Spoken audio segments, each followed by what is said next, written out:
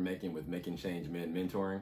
And today I'm coming to you with a message um, actually that I that came from a conversation with me and a friend of mine at the gym.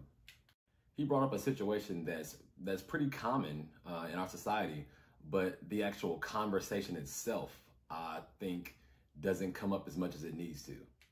So he explained to me that uh, you know there's a child um, in his life that doesn't have his father around and you know the child's getting to an age where you know th- that conversation kind of needs to come up you know like where is my father?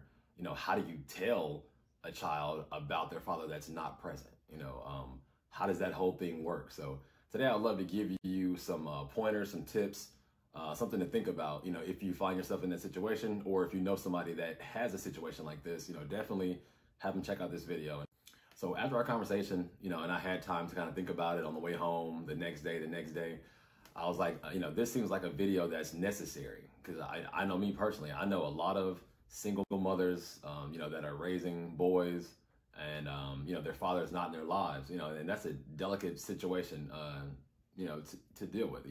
And if you need some assistance with it or some help, hopefully this video will do you a solid. So I look at it in three steps pretty much when to tell them, what to tell them, and how to tell them. So when, when should I actually tell the child? Two, um, you know, what should I say to them? And then three, how should I do this? So let's take the first one. Um, when to tell the child. I think the first thing to discuss is have they asked about their father? You know, or have they made comments about their dad? I think once it's noticeable or realized by the child themselves, then that's a good time to discuss it. Number two, what to tell the child. This one can be a little bit tricky. Um, I think it really depends on the reasons the father is not in the child's life. So is it from like a broken relationship? Um, is the father in prison? Or did you never have a relationship with the father in the first place?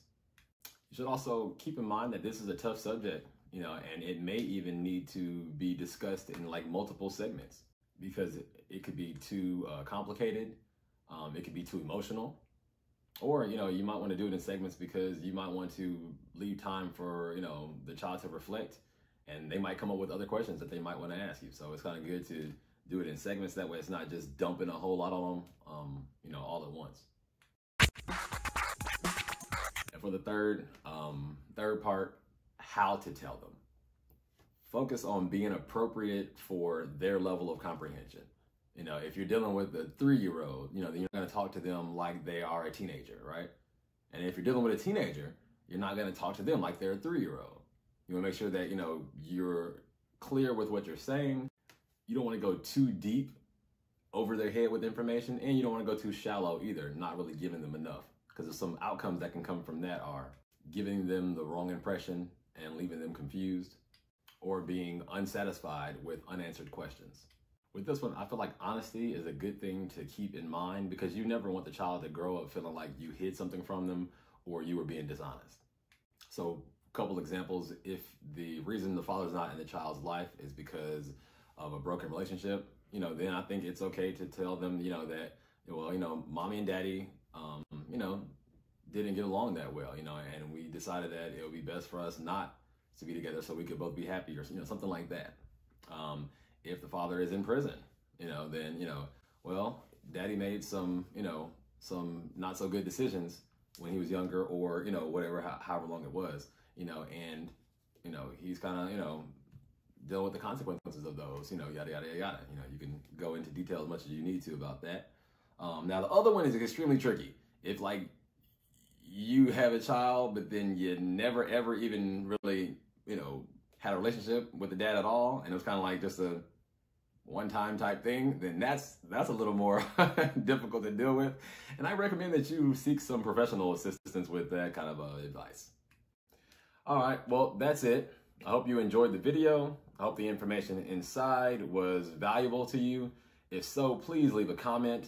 You can reach out and contact us at MCM underscore mentoring LLC on Instagram. Again, that's MCM, like Macon changed men underscore mentoring LLC. You can DM me there, you can email me, at uh, Camron, C A M R O N, dot Macon, M A C O N, at maconchangemen.com. Uh, we have a blog on our website, www.maconchangemen.com. So there's a lot of different you know ways to reach me. Um, also, YouTube page is just one word, Macon Changed Men. So um, you can check out there for more videos. Look online for our blog that discuss different kind of topics like this that might be helpful for you or for someone else that you know. Until next time, thank you guys for checking in. I'll check you later.